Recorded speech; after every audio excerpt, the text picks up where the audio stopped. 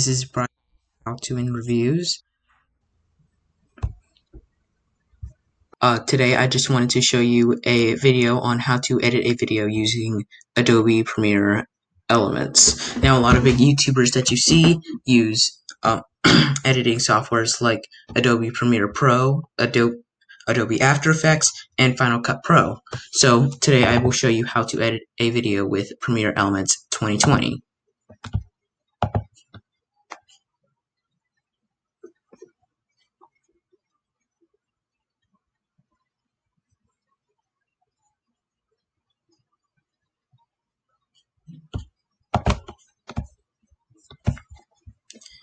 So as you can see here, there is a quick view, a guided, and an expert.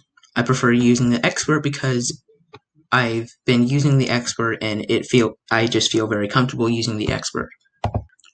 So first you're going to click on add media.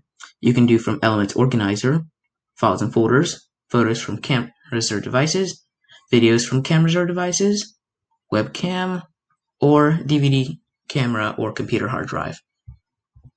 So I'm to go to Files and Folders, and then Videos.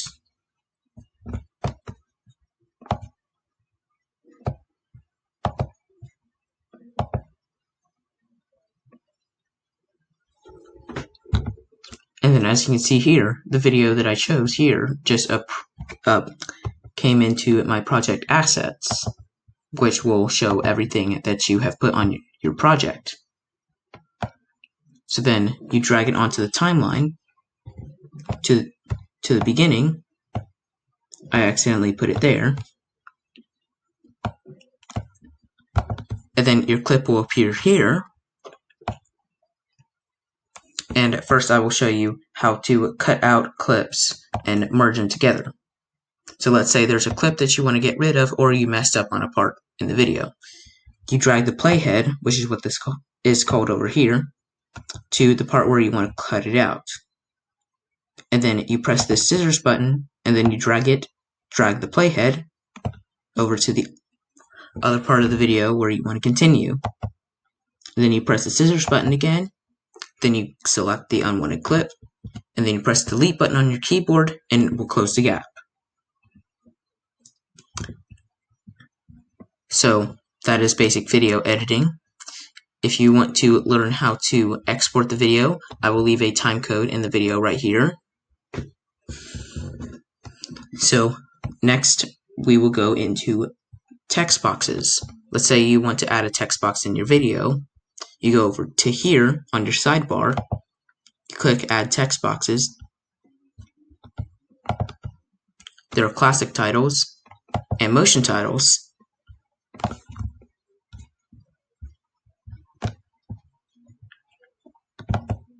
Now you just click the box here, and then you delete add text, and then you put, for example, this is a test. And then it will appear on the timeline.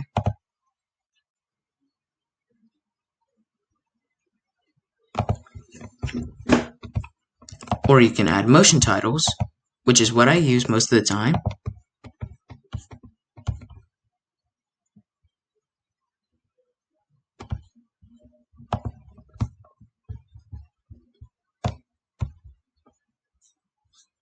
So you just click the text box, and then over here,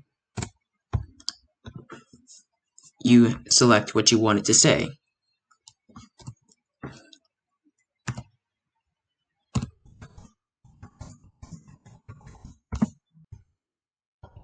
And then you have your motion text box there, and then this is what it will look like. Now I want to apologize for the video quality here because it looks very choppy because my video card on this computer is more of an average video card and it's probably can't and it just does not want to handle uh, the motion text boxes because I think this computer doesn't have enough RAM or some something like that. And before I go on, I just want to thank you 30 people for subscribing to the channel. As I forgot to mention in the introduction in this video. So step four, you can add audio to your clip, which I will add now.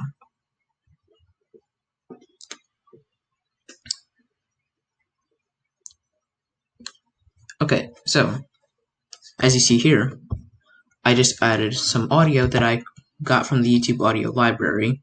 You can drag it on any of these audio uh, timelines, even the first one. And you can also adjust the volume of your audio using this, or by clicking it and then going over here to make adjustments to your clip, and then you can adjust the audio that you want for the clip. Or you can have it play along and then adjust the audio as it plays along.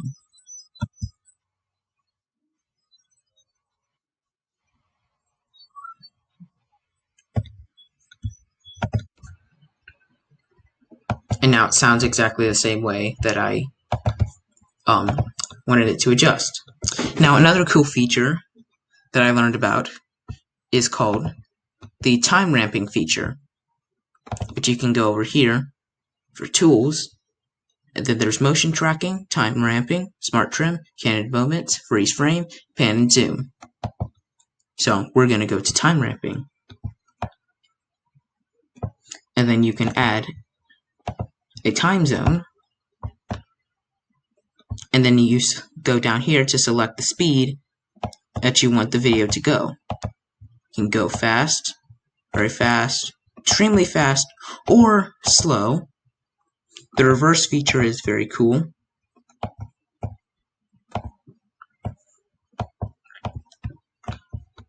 Because what it will do is it will play the video and then it will reverse and then it'll keep playing that part and then keep going.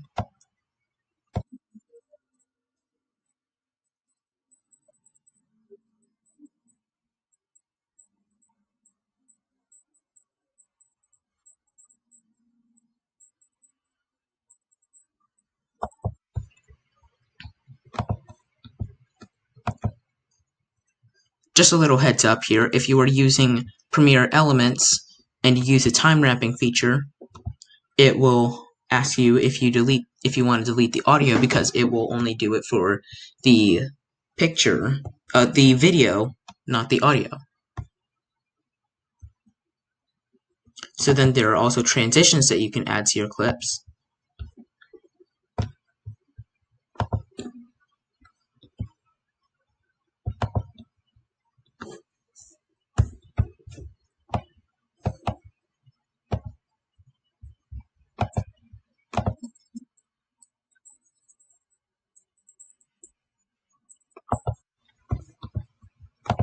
There are a lot of transitions here.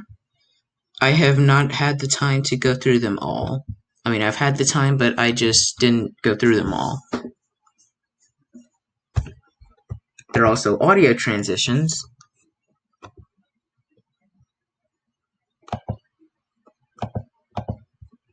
And advanced adjustments that you can make to your videos. I usually don't use these but they're still pretty neat to have. So that is pretty much it for video editing.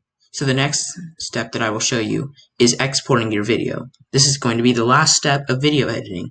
Once you're done editing your video, well first you're going to want to save it by pressing the save button up here in the top corner and then you are going to want to export it. So you click this export and share button. You can do quick export, devices, disk, online, audio, or image. I usually have it saved in 1080p. You can also do 4K. I usually don't do 4K because it takes a little too long to save, and I don't have that much memory on this computer. So then once you select the format that you want to save it in and the destination that you want to save it in, then you click save.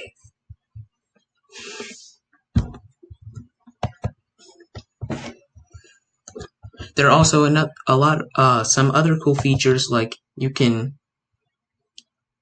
make um, the timeline uh, a dual monitor workspace if you like using two monitors, which I don't. But that is it for video editing for Premiere Elements. So, thank you for watching. Let me know if you like this video. Oh, that's been it. I will catch you guys in the next one.